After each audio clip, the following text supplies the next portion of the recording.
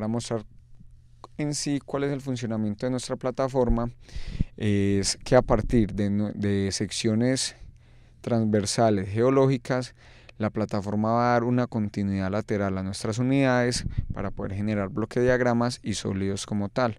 Entonces para crear estas secciones le damos crear una nueva sección, le damos un nombre a nuestra sección y le decimos que vamos a crear una nueva sección. Inmediatamente nos va a desplegar una vista del mapa. Y una vez tengamos la vista del mapa, vamos a escoger en qué dirección queremos hacer nuestro corte, de qué magnitud, magnitud me refiero a distancia, y escogemos preferiblemente para la interpretación perpendicular a las estructuras. Hay un punto muy importante que hay que tener con este primer perfil. Este primer perfil nos va a definir la dirección de interpolación de nuestra plataforma. Es decir, a partir de este perfil, el resto de perfiles que nosotros queramos hacer y queramos interpretar va a ser paralelo a este primer perfil. Esos perfiles que queden de forma paralela van a ser los que la plataforma va a usar para hacer la interpolación.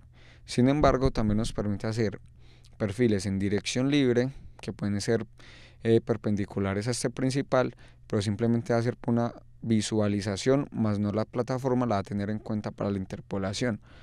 Cuando ya generemos varios perfiles se van a dar cuenta de lo que estoy hablando. Y por último nos dice que generemos, pues nos pregunta que hasta qué nivel, hasta qué profundidad va a ser la interpretación de nuestro perfil. En este caso voy a poner menos 200 metros. Quiere decir que en el punto más bajo voy a interpretar 400 metros y en el punto más alto voy a interpretar 3200 metros. Bueno, todo esto depende, o sea, esa base de interpretación depende obviamente de toda la información que tengamos geológica. ¿Sí? ¿A qué me refiero? Si tenemos pozos, si tenemos información sísmica, esa información va a ser la que nos va a delimitar esa profundidad para que nuestro nivel de detalle tenga un nivel de veracidad y un nivel de incertidumbre menor. Entonces, una vez creado, él nos, eh, la plataforma nos va a mostrar en este sector todos los perfiles que vamos a ir creando. Perfecto. Entonces, cuando abro el perfil,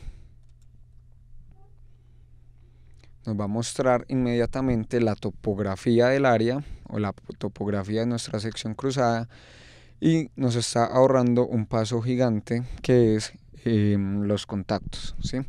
Los contactos se están mostrando con nodos de colores donde nos está indicando al lado izquierdo y al lado derecho cuál es el contacto, pero para que no sea solo de colores, en la parte de nuestras herramientas está esta flecha con el signo de interrogación que lo que nos va a permitir es visualizar sobre qué formación o sobre qué punto estamos parados.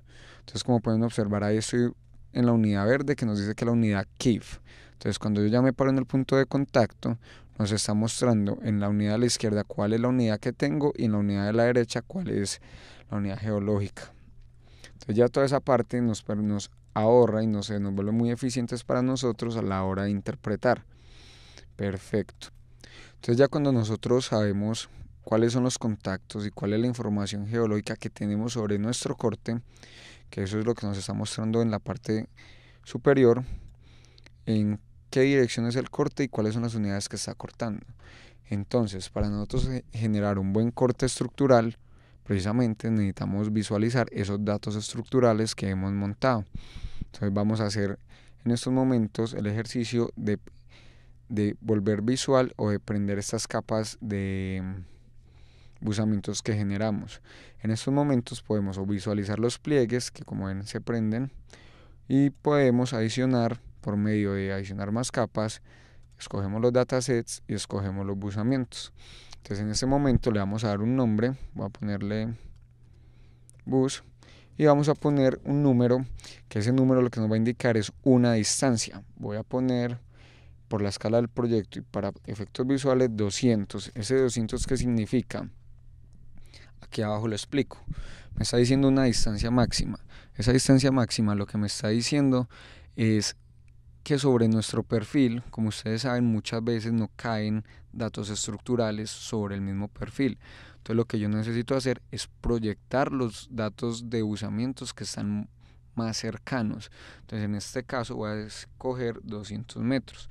Le voy a decir a la plataforma, sobre mi perfil, los datos estructurales que estén a 200 metros al norte y 200 metros al sur, em, por favor proyectamelos y nos los va a mostrar de forma visual. Entonces una vez lo creamos, nos creó una visualización que se llama bus 200, entonces son los busamientos que están a 200 metros de nuestro perfil.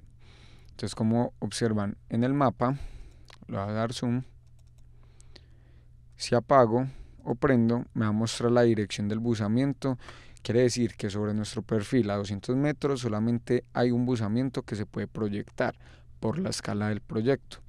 Entonces si yo me acerco, me va a mostrar el busamiento casi que sobre el perfil y me va a mostrar sobre la superficie, sobre la topografía, el mismo busamiento. Pero bueno, ¿qué pasa con este busamiento? Cuando yo le doy que me muestre la información de él y me paro encima, me va a dar dos datos muy importantes. Uno es el DIP, que ahí podemos leer que dice DIP. Eh, dice 25, que quiere decir que es el busamiento real, el busamiento tomado en campo.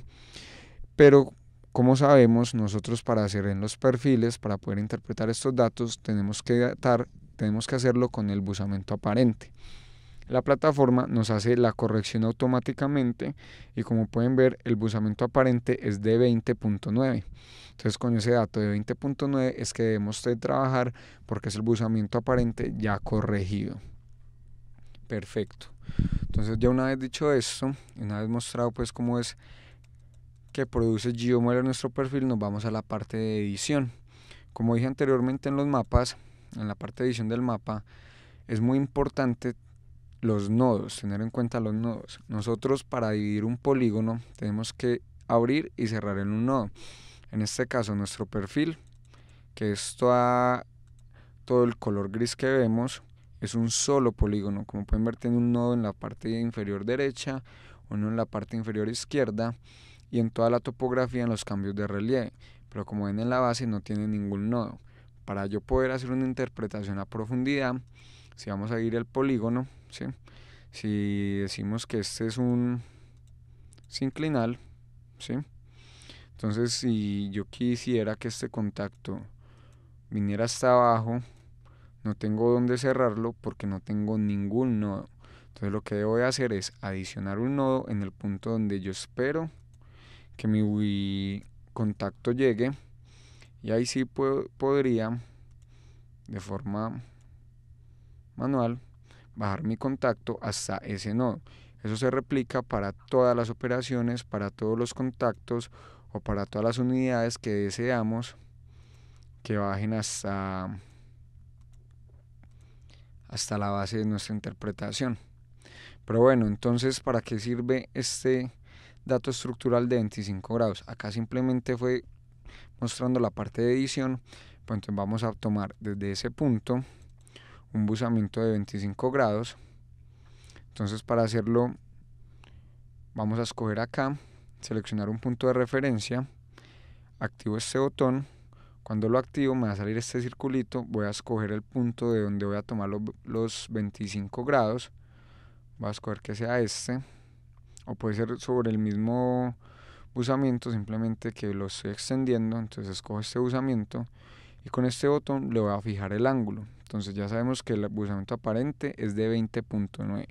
Entonces lo voy a redondear a 21. Escojo el punto y como pueden observar no me permite hacer una línea en un ángulo distinto a 21 grados. ¿sí? Si fuera diferente, si fuera un ángulo de 60 grados, solamente me dejaría hacer una línea con el ángulo de 60. Entonces todo esto nos permite hacer interpretaciones con mucha más certeza, con mayor veracidad para poder mantener, digamos, nuestros espesores,